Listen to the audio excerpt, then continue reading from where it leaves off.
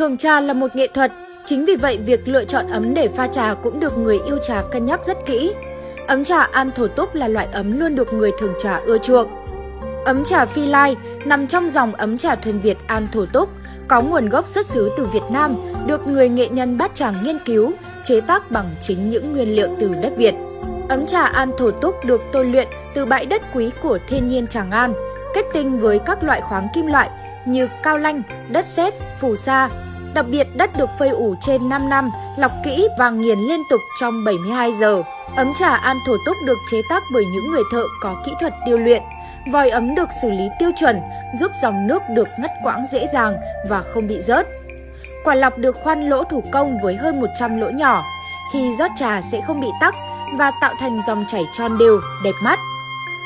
Ấm được nung trong lò với nhiệt độ trên 1200 độ C, tạo nên chiếc ấm kết khối tốt và bóng mịn. Trà pha bằng ấm an thủ túc, nước rất đẹp, hương vị trà thì giữ nguyên vẹn, có khả năng dẫn nhiệt và giữ nhiệt tốt. Tính chất sành đặc biệt làm cho trà không bị thiêu, hỏng, đặc biệt càng dùng vào lâu thì men của ấm càng bóng và mịn hơn. Trong các dòng sản phẩm ấm trà An Thủ Túc, ngoài ấm trà Phi La ra, còn nhiều loại ấm trà cao cấp khác như ấm An Thủ Túc, ấm tay ngang,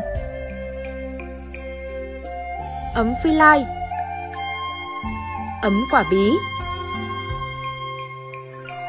ấm tùng lâm, ấm quả chuông, ấm trúc lâm. Giúp người yêu trà dễ dàng lựa chọn để phù hợp với gu thẩm mỹ của mình. Ấm trà An Thổ Túc vừa giúp cho việc thường trà trở nên tinh tế, vừa là khối mỹ thuật tuyệt đỉnh mang tâm hồn văn hóa người Việt.